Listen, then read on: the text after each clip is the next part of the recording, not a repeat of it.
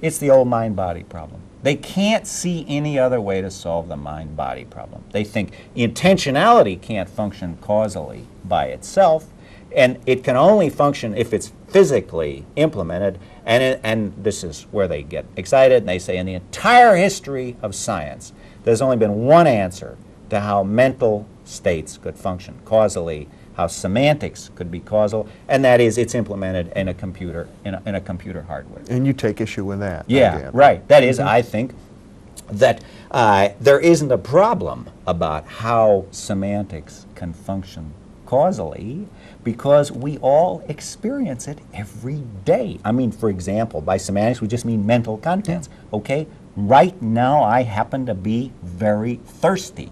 Typical of people on television, they get thirsty. Hmm. Now, later on, I'm going to go and drink some water. My state of thirst is going to cause me to drink water. That's a case of a semantic content causing behavior. There's nothing mysterious about that. I mean, I want to drive to Berkeley, and I believe the best way is to go over the Richmond Bridge. That combination is going to cause some behavior on my part. So the problem that it was designed to solve, namely, how can mental content and semantics function causally to move my body around, that was never a problem in the first place. Well, I think uh, as a philosopher, one of the, the interesting things I find in your work is your willingness to deal with this kind of naive view of causality and, and to stand up for it, to suggest that we, this is our basic experience, this is what we have, nobody's going to be convinced otherwise, even though it seems to go against the whole grain of modern science. Well, actually, the, the whole grain of modern science is, is uh, uh, not so much opposed to this as you might think. It's the ideology which has been inherited from a 17th and 18th century attack on a certain conception of causation. And the attack was led by David Hume, and he said, there isn't any experience of causation. All there are are statements of regularities. All we can find are regularities in the universe, Yeah. and all we mean by causation are these regularities. Now, of course, nowadays we think the regularities are the scientific laws. But the real mistake was to suppose that there's no experience of causation. And it seems to me it's something we experience every day. Just watch. And my arm went up. Now, why did it go up? Well, I decided to raise it. A mental event, my decision, actually caused a physical event. Somebody thinks that can't happen or I can't experience that. Mm-hmm. You just watch me. So there was a basic mistake in Hume. He was looking at the wrong place. He wanted to look out at events in the world and find a, an experience of a connection between the events. Whereas what I'm suggesting is the actual experience of causation is in our ordinary perception and action. That is an experience of acting, uh, that's intentional causation moving our bodies, or if you like, in perception, our bodies are affected by the outside world. Once again, we experience the world causally impacting on our bodies. But wouldn't you suggest, though, that the world of physics uh, suggests that the whole universe is made up of nothing but particles, and, and these particles move back and forth and collide into each other, and I think you even go so far as to say that in spite of quantum indeterminacy, that uh, from this point of view, events in the macro world are all determined by the movement of these particles. So it's rather bold, I should think, to suggest that a mental event can have a causal influence. Right. Okay. No. Now you pose the uh, the problem exactly, and let me just give a brief answer to it, and that's this: Is the world made of uh, of, of minute physical particles? Well, particles a bit misleading. They're points of mass energy, but anyway, it's made. We'll use a technical term: itsy bitsy bits of stuff. Okay. There's a lot of little uh, entities wh- which are the ultimate composition of reality. But now here's the marvelous thing from this point of view, and that is this combination, these systems of entities, have higher level physical features.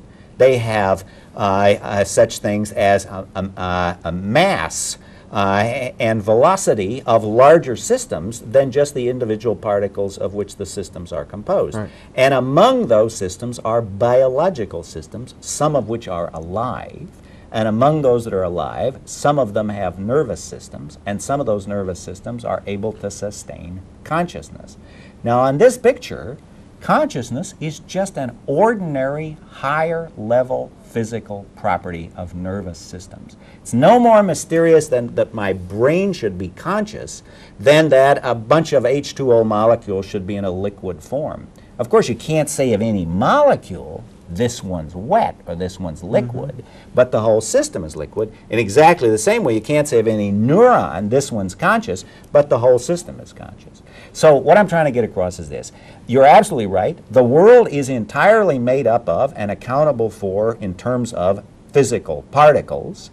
And there are higher, but at the same time, there are higher level features of these physical particles, such as solidity, liquidity, and consciousness, and they function causally. The higher level features have a separate causal level of reality. Mm-hmm. So that if you're pounding a, a, a nail w- with a hammer, the solidity and the weight of the hammerhead function causally, and the real causation there, even though, of course, the hammerhead has properties that are entirely explicable in mm. terms of the molecular structure. Similarly, with consciousness, my conscious desire to raise my arm can cause my arm to go up, even though, of course, the whole thing has a level of description where it consists of a acetylcholine, a neurotransmitter, um, being uh, uh, transmitted across a synaptic cleft. So from your point of view, the mind-body problem has essentially been solved. They're one and the same. It- That's right. Just like th- whatever uh, perspective you're looking at the phenomenon from. From one perspective, it looks mental. From another perspective, it looks physical, like the wave-particle duality. Well, it isn't even a duality. I just want to, I want to say the big mistake, and, and Descartes got a lot to answer for because he, more than anybody else in the 17th century, is responsible for this mistake, but it's been with us for 300 years. The big mistake is to suppose if it's mental, it can't be physical. If it's physical, it can't be mental. And hmm. what I'm trying to say is, look, we just live in one world and let's call that world physical, it's a good enough word. And among the properties in that world are some that are mental. But they're not mental as opposed to physical. They're physical because they're mental. Consciousness is just a higher level physical state of the brain, just like weight and uh, liquidity and solidity.